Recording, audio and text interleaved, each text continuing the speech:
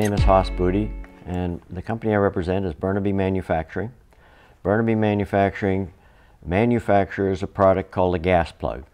The gas plug is used to connect outdoor appliances to your house piping, saving, of course, your portable tanks hauling around in your car and that sort of thing. It hooks it right up to your house piping.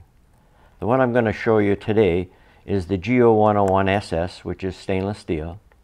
And when you first get the product, you want to check that there's no damage.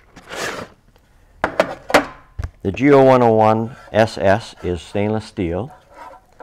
The product comes with instructions, a label on the inside showing the capacities and the maximum pressure, and there's a warning tape you'll see on here. It's a yellow warning tape, and that's so that the person that's doing the installation does not leave that plug in there when he leaves. So it's just a, it's a safety precaution. If that plug is in there and somebody turns it on, there will be flow.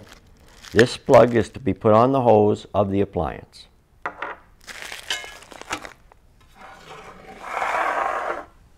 We'll see it mounted here. The gas plug is designed to be put on the wall on the stub out, either from the bottom or from the back. If you put, come in from the bottom, remove the elbow. If you come in from the back, leave it on. Put it on your stub and slide the box down over top of the back and into a position so that this hole lines up. The clamp secures the product in the box to the main hole. The cover of the box opens up 135 degrees, so it's easy to work with. It also comes with some standoffs. These standoffs come with every stainless steel box. They're an adjustable standoff. You can adjust them from three quarters of an inch to one and a half inch.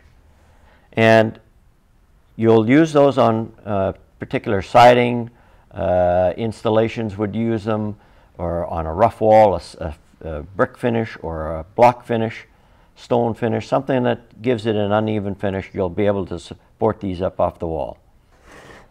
Gas outlet the, is identified as a gas so that you can easily see what it is. It's identified easily on the inside to the maximum capacities, which is a half a psi. And this particular model is 60,000 BTU of natural gas at 7 inches water column, which is the standard pressure in the house. And the safety features of the gas plug is that you need to turn the valve off before you can do a disconnect. The other safety feature is inside this assembly is a thermal valve. That thermal valve is designed to shut off the flow of gas if the temperature reaches over 300 degrees. So if there's a mishap on your, with your appliance, it'll shut the flow off. There won't be, it won't be fuel and fire.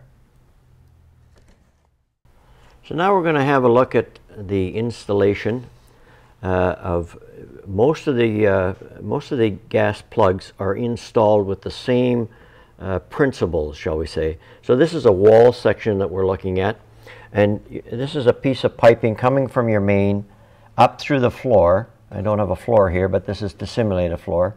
And when you come up through the floor, you, you need to have at least a two inch hole there. And the idea behind that is to make sure that there's some flexibility in your pipe while you're doing your installation. That's the key. Your distance on how far you go out will be, will be by this nipple here. That'll govern the distance that you go out. But once you've chosen where that location is and you've drilled the hole through, when you come up through here, you need that flexibility. And that will go for all models. Now we've got a shot from the front, remembering that this pipe needs to move. But when you're allowing for your distance on the nipple, get yourself out about 5 eighths to 3 quarters of an inch of thread showing. And while you're working on it, you'll pull it out to give you plenty of uh, length to work on it. Take your piping assembly,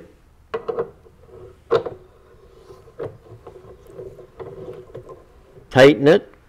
I won't tighten it uh, firmly here just for demonstration purposes. And now you're going to test that. You're going to either soap test it or test it with air as you're required to. Once you know that that joint is tight, you're going to put your box over top, open it up, put it over top, centering your cushion clamp to the center screw, put the screw through, and that secures the whole assembly and box to the wall. At that point, you're going to straighten it out. I don't know if it's exactly straight because I'm looking at it from the side, but you're going to straighten it out before you put the other screws in. And that gives you your installation. It's as simple as that. Remember not to leave the male plug in the outlet.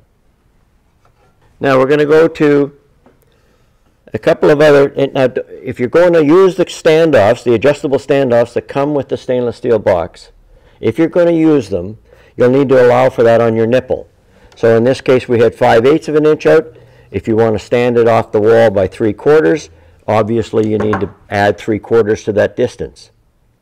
Again, you still need the flexibility after you get to that distance. Here we have a shot with the standoffs, the very, very same installation using the 3 quarter standoffs.